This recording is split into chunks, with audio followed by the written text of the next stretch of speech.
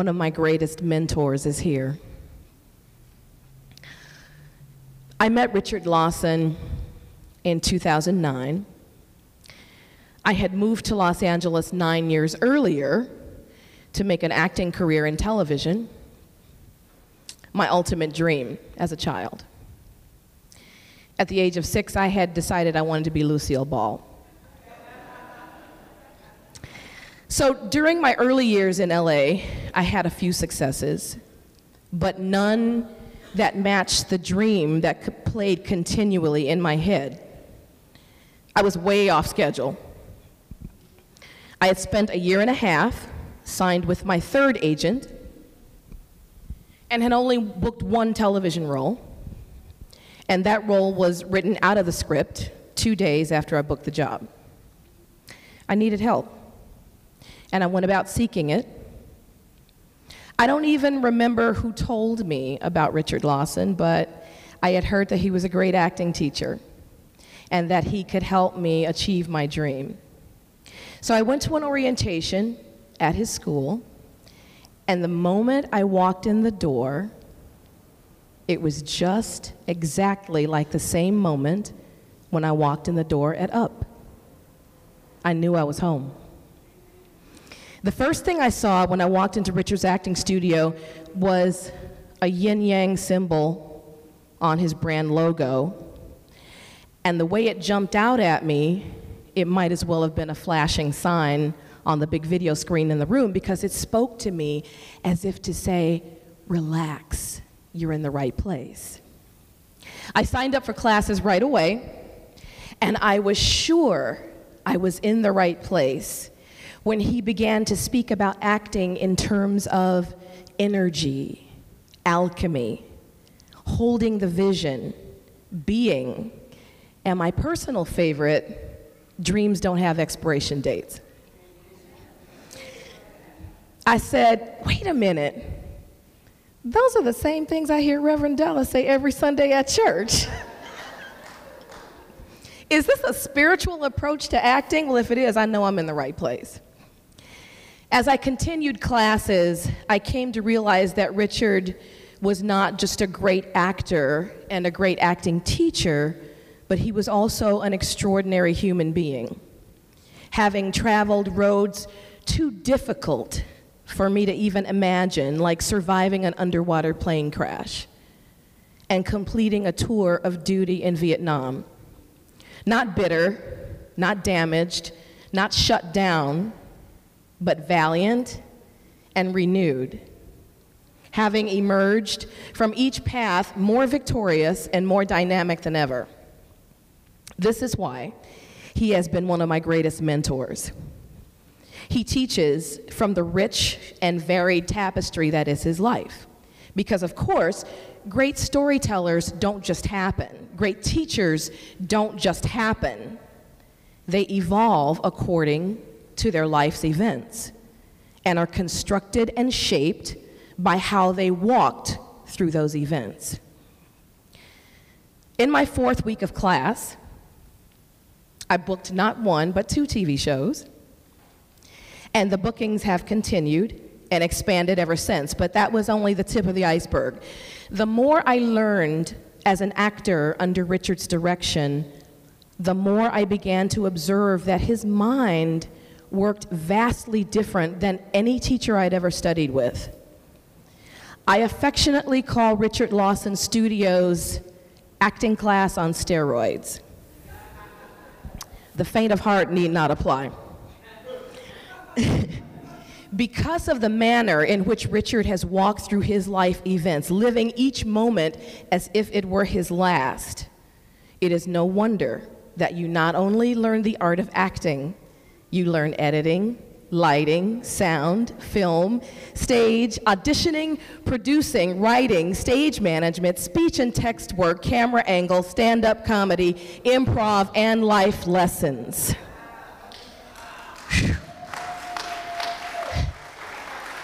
Not for the faint of heart. You cannot be a great actor without first dealing with yourself from within. And you cannot be a great storyteller until you are unafraid to put what you have learned in your life on the screen, or unashamed to leave every bit of your authentic self on that stage. Many, including tons of Hollywood A-listers, have received a 360 degree education from Richard Lawson. For more than a decade, he ran one of the most successful drug rehabilitation programs in the country, administrating the drug education, treatment, and aftercare program for the NBA. Studying with an inventive and remarkable mind like Richard also means that you are a firsthand witness to some of his creations as an inventor, the most recent being something called Dance Fit Walk, a fitness program that he has developed, again, like no other. Gently and patiently, but firmly and with passion and conviction, Richard has guided so many along the steps of their dream, as a father would guide a child to walk or to ride, first with a tricycle, then training wheels, then a bike with no hands. And like any great father, walking the path of the dream with you is not enough. He is careful to weave threads of self sufficiency within the fabric of that dream so that he doesn't just hand you a fish by showing me and countless others how to be great filmmakers, or how to write an airtight script, or helping to create the stuff that great producers are made of, he teaches how to fish for a lifetime of independence in an industry that demands it. On this Father's Day, I can accurately say that Richard Lawson has been the father of my dream. So here I stand on Father's Day 2014, and there is no place I would rather be than here with another extraordinary human being, my spiritual mother, Della Reese-Lett, and with actor, teacher, director, inventor, interventionist, and the father of my dream, a walking, talking proof of the truth, Richard Lawson. I would put that introduction up against any introduction I've heard for anyone. That is, I hope to be able to live up to that today.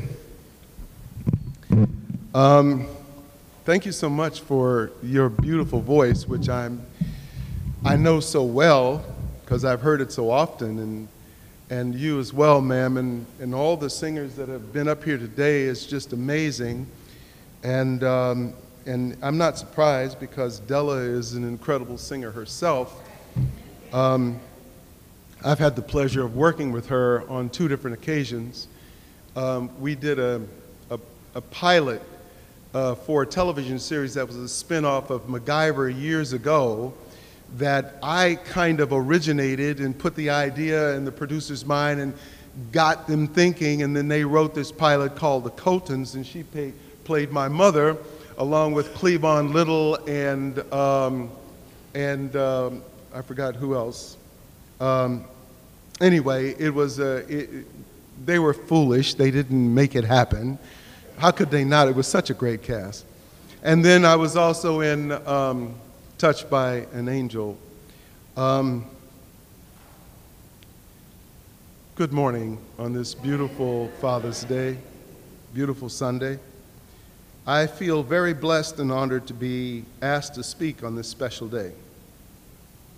I heard somebody say father, mother earlier. And, you know, I think that Father's Day and Mother's Day are the two most important days of the year because the one thing that is common for everyone is the fact that we all have fathers and we all have mothers. And most of you are fathers or mothers. And, uh, and the young people in here will be fathers and mothers, and they have fathers and mothers. And those are the two most important figures in life because everything that you are is an extension of your parents, whether you know it or not. Sometimes, you know, the things that we are and that we do we're not aware of the influences that come through the years and years of things that are passed on.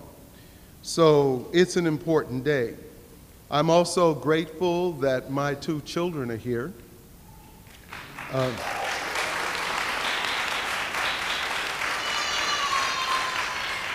along with my beautiful.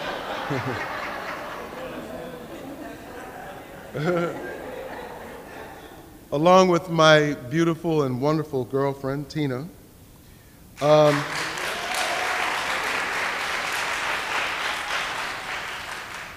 as you know, the, the name of this series is called The Proof of the Truth. Um, it's my testimony of how God has delivered me, supported me, prospered me, and positioned me to express my inner greatness. And with their presence here, uh, they are definitely example of my proof of truth.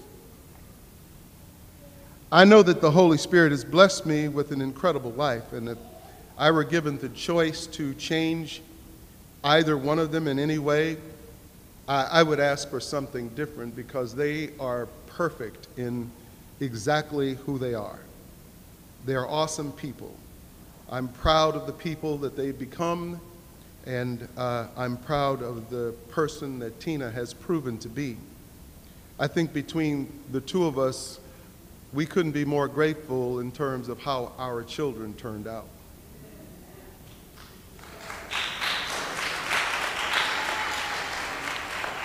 Being a parent is the hardest and most important job in the world. It's a lifetime occupation that has no set hours. When you sign up for the job, whether you wanted to or not,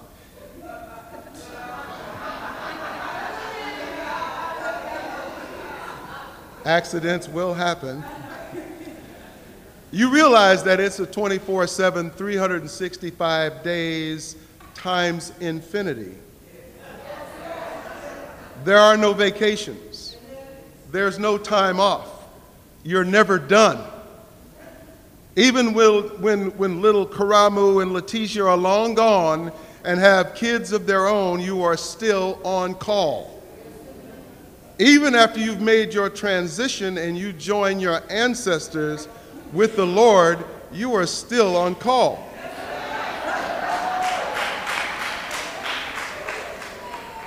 I thank you so much for allowing me to stand here before you today and present all and represent all the fathers and mothers of the world, and I humbly thank you for the opportunity to share my story. The subject of my talk today is how to make a silk purse out of a sow's ear. Now, I know some of the more mature people in this room really kind of have heard that over the years. But how to make a silk purse out of a sow's ear. Now, what does that mean? First, first of all, it is an idiom or an expression whose meaning is not predictable or usual meanings of, uh, of, its, of its constituent elements, like kick the bucket or hang one's head. A silk purse from a sow's ear, as, as most things in life, are interpreted in one of two ways. As all things, you know, it's either half full or half empty, and it just really truly depends on how you look at it. I heard people speak earlier, and there were things uh, that you talked about in terms of how you look at something is going to determine how you go about it. You can see it half full or you can see it half empty. So, a silk person, a sow's ear on the positive side is to produce something refined, admirable, and valuable from something which is unrefined, unpleasant, or of little or no value. Most people see it on the negative side, which is it is impossible to make something fine out of something inferior or substandard material. When I look back across the landscape of my wonderful, crazy, unpredictable, challenging, inspired, driven, empowered, spontaneous, and blessed life, I am certainly reminded of the pile of sow's ears that I that has knocked me down or made me want to give up or broke my heart or held me underwater or damn near killed me in one way or another, whether it was mentally, physically, or spiritually. I have literally had a number of near death experiences. I will share with you a few of these experiences and how my higher power delivered me, supported me, prospered me, positions me here today to express my inner greatness. The first thing I have to look at and acknowledge is my mother, father, Gertrude Noella Broussard.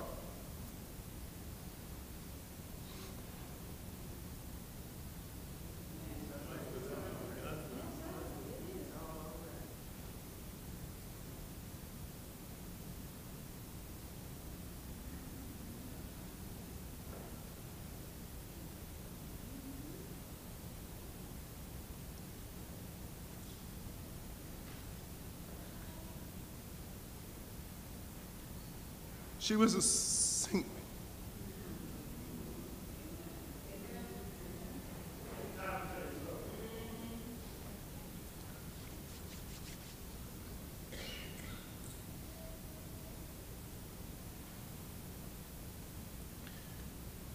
She was a single parent. She raised me and my sister.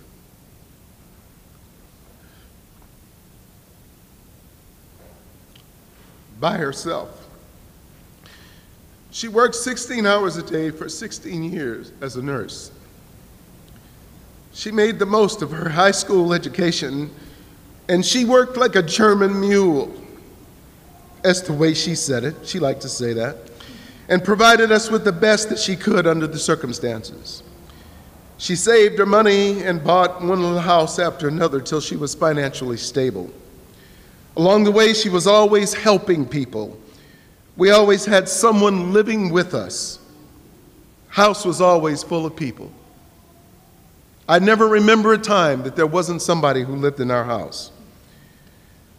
She stopped nursing. She started a family home where she cared for 16 mentally challenged people. She also adopted three foster children at the same time. She had three little kids and 16 mentally challenged people. She was a natural born caretaker.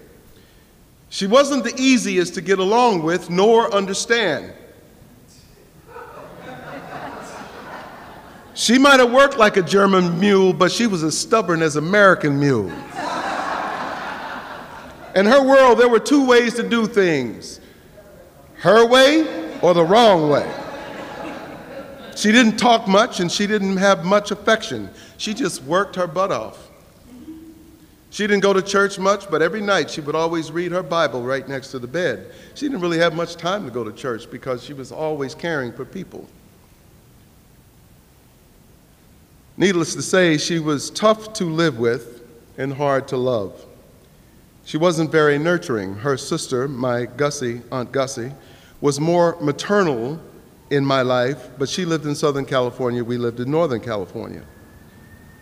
I loved my mother because I was supposed to. I mean, how can you not love your mother? But I just didn't like her. Till one night while I was freebasing cocaine in my bathroom in Chicago, where I was doing a series called Chicago Story, I called her and asked her why she never hugged me kissed me, held me, or told me that she loved me. After the longest silence, she started crying. And she said, I didn't know how because no one had ever done that to me. We both were in tears at that point. And at that moment, the Holy Spirit washed over me and all of my considerations and anger and frustrations and misunderstandings were washed away. I had such love for Gertie at that moment. I suddenly realized that she worked that hard because that was the only way that she knew how to show her love. She did the best she could. She dedicated her entire life to the cause of making a better life for her children as a single woman. When I look at the content of my character and what I got from my mother, and thank you for saying all those wonderful things that you said, because that is Gertie. All of that was Gertie.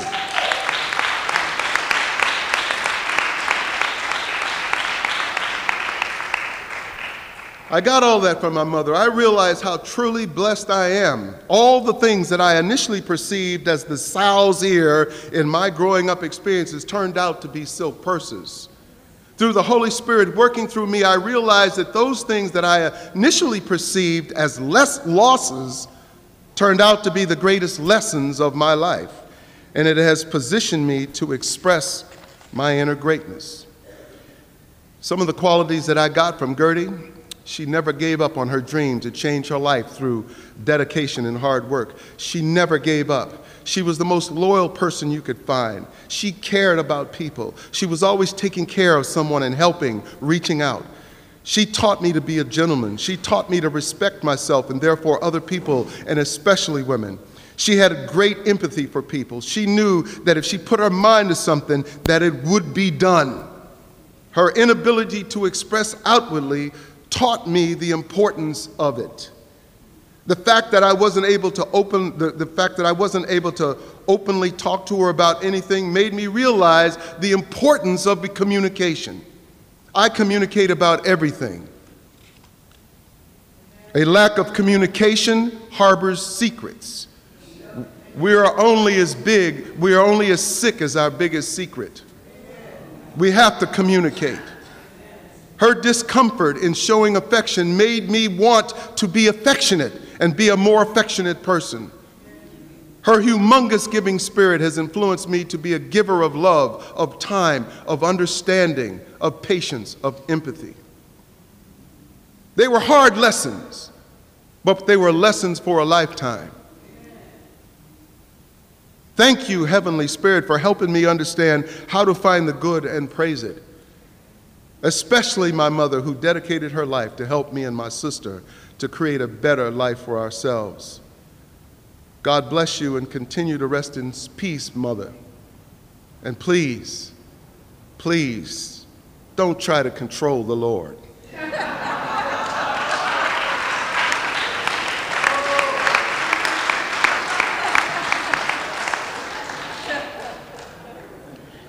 My mother left my father, L.B. Lawson, when I was six and started her journey as mother father. L.B. was a barber. He was a very handsome man. He looked like he should be a leading man in some romantic love story. He lived in San Francisco after the divorce, and we lived in Oakland. I would go to his barber shop in San Francisco to get my hair cut. I remember vividly the day that the world changed for me. I was sitting in his barber chair, and he was trimming the nape of my neck you know, my head was down, and I remember those scissors, those clippers going zzz, zzz, zzz. The patron waiting to get his hair cut was sitting there right across from me. And the patron said, Hey, Lawson, is that your son? Zzz, zzz, zzz. After a long, deadly pause that was filled with subtext, where the sound of those clippers kept getting louder and louder till they, became, they began to sound like excavating equipment. He said, Well, that's what his mama said. Those words became, became exploding landmines in my mind. That was the beginning of a 40 year spiral down a hole that I couldn't seem to get out of mentally. We don't have enough time to talk about all the holes that were created in my soul trying to figure that out. The one thing I was certain of was by that day that LB was not my father, but I didn't have any proof. I never asked about it because my mother wasn't the kind of person that you wanted to go and ask some kind of question like that. I love living too much to go and ask, hey, mom, uh, is daddy my daddy? Oh, no, no. So I didn't communicate. So I just kept it inside and let it spin into all kinds of issues that were well camouflaged on the outside that no one would ever know. But there was this inner world of this little boy who grew up to be a man on his own and was lost with the sense of abandonment, and I didn't understand. I didn't understand. I think it was a real motivating force for me to become an actor. I was able to put all those unresolved emotions into characters I played. I was able to play this stuff with heartfelt passion, and people thought that, wow, what a great actor. Well, that might be true. But I was working it out, and I was putting it in this character, and I was putting it in this character. And I found that it was helping people and it was a form of ministry because I was telling the truth of my experience through the characters that I played. When my mother passed away in 1993, that night I buried her, I was looking through her papers and I found this christening papers. It was written in part thick parchment papers, like almost like a grocery bag, it's so thick. They used a fountain pen to write all the particulars. On the line that says, Father, the name was erased out, but they couldn't erase it out all the way. So I saw that name underneath, but on there was another name underneath. It had a C in it, and on top it said L.B. Lawson. That paper had so much energy that it felt like I was holding a person. It vibrated in my hand. My mother's sister, uh, uh, Gussie, her, she signed the papers as a witness back then. I called, she was in the next room, I called her in. She saw, looked at the paper, and she turned white. Secrets. We're only as sick as our biggest secret. She almost turned white. She was at least gray. So she was in charge of the lie and the secret. Now, what was she going to do with it? I thought she was going to have a heart attack. She stood there and she got small and she started shaking and she lied and she went into the next room and she said, I don't know. Ricky, believe me, I don't know. She went into the next room. An hour later, she came back and she was humble and she said, Well, you know, I think you got to call your cousin Iva. She and your mom came out to California together. So I called Iva and Iva said the truth that L.B. Lawson was not my father. She got real vague about who it was, but she said he was not my father. She took it to the grave, and I wouldn't tell you, but because you're asking me, he's not your father. Buried her for the next three years, I'm still tripping. Until I finally decided to say, wait a minute. I'm responsible for how I feel about L.B. Lawson. Let me sit down and let me write this letter to L.B. Lawson and claim myself back.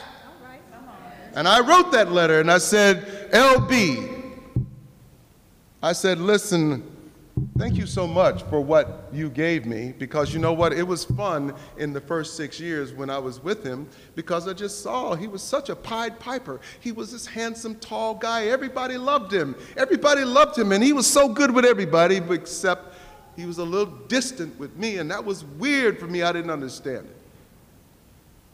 But I said, listen, thank you. I don't know what really went on between you and my mother, but you know, I apologize for whatever feelings you had about it. But listen, you go on in peace. I release you from any responsibility for me. I just hope that you decided to become something worthwhile and not be a rock or a turtle or something. I had to have a little humor about it. I read it to a friend and I burned it. That was 2 a.m. Thursday morning. 2 a.m. Thursday afternoon, I went to get my hair cut. So I'm sitting in a barber chair again. And this girl comes up to this, to this thing right next to me and she sets her stuff down. And this is an empty, this stall had been empty for months.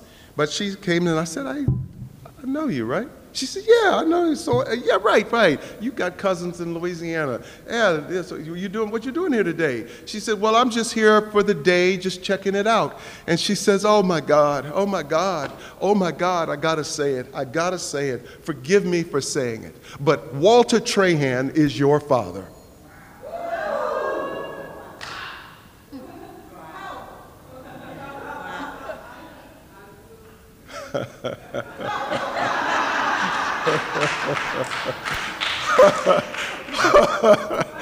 All I could do was laugh. It was like the universe, the Holy Spirit said, boom.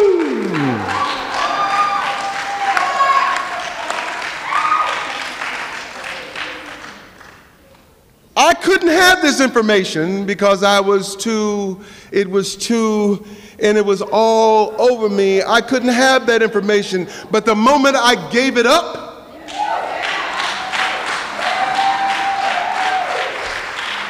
the truth came in. The moment I got quiet about it, the truth came in. The moment that I released all that energy, it let room for the, the truth to come in. Silk purse into a sow's ear. I'm going to close by this. She mentioned the plane crash. I think it's important to share that. So, March 22nd, 1992, I'm catching a plane to Cleveland to go work on the drug program. I'm going to the Cleveland Cavaliers to talk about, you know, drug education, training, treatment, and aftercare. After my episode of, of, of drugs, I went to treatment and to rehab, and I got help. And then I got knowledge. And then I knew what I was talking about in terms of helping people. And so I started working on the program and helping people helping, and I still to this day, to a certain extent. I'm an interventionist. But I'm going to Cleveland. There's a snowstorm. My spirit tells me that do not get on this plane. The moment I'm about to get on the plane, it becomes really clear that this plane is going to crash. In my I, spiritually, I know this. I know this. I know this. I know this. But we have another side to us. There's one side that said, don't do that. And then there's another side, no, no, because you know we got to do this thing. You know why you want to do that? Just go. People gonna think you stupid and scared. What you gonna do? T- tell people that you were scared to fly? Go sit your butt down, boy.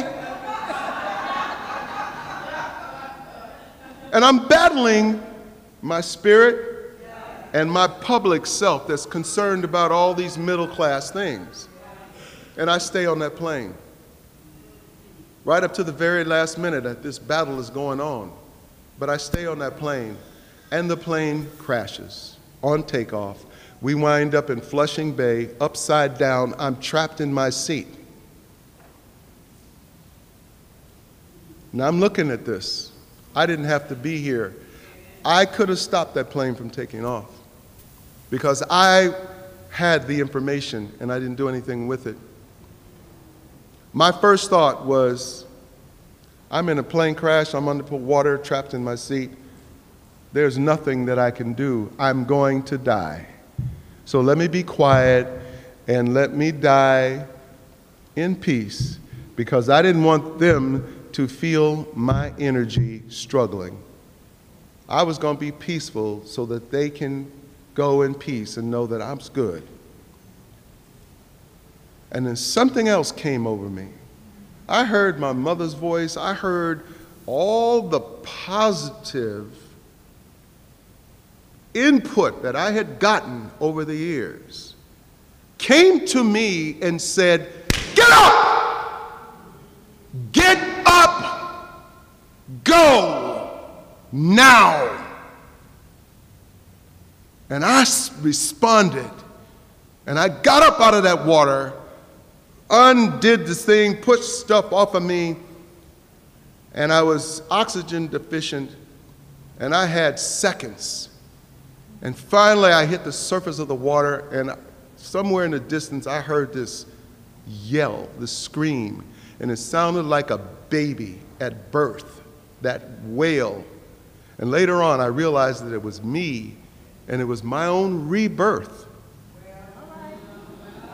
And this hand came through a hole in the fuselage and said, Let me help you, and pull me out through this hole in the plane. Never saw the face. I was worried about the fact that I couldn't breathe and pulled me out of the plane. I really understand how guided I was through that. When I was on the plane, I sat in 6A. This kid recognized me, the ticket agent, and moved me to 1F. The girl who sat in 6A died. This isn't, you know, if this is not an example of the Holy Spirit working in a way to guide me through this maze of possibilities and allows me to stand here today and talk to you about the fact that you can change anything in your universe. It is never too late. Because every answer that you need is within you. It's within you. You don't have to look anywhere else. You will have the choice of going down one road or another, and it's about whether or not you are at peace enough to make the right decision. So it's never too late. Dreams don't have expiration dates.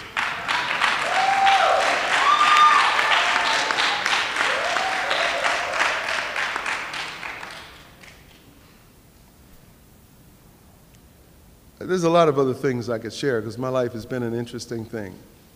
But what I know is, is that life is how you choose to live it. You understand? You can look at things and you could look at half full or half empty. You could take something and make it, you can take nothing and make it into something. And it all boils down at the end of the day about how you look at it and how you are willing to listen to your spirit because the answer is within you.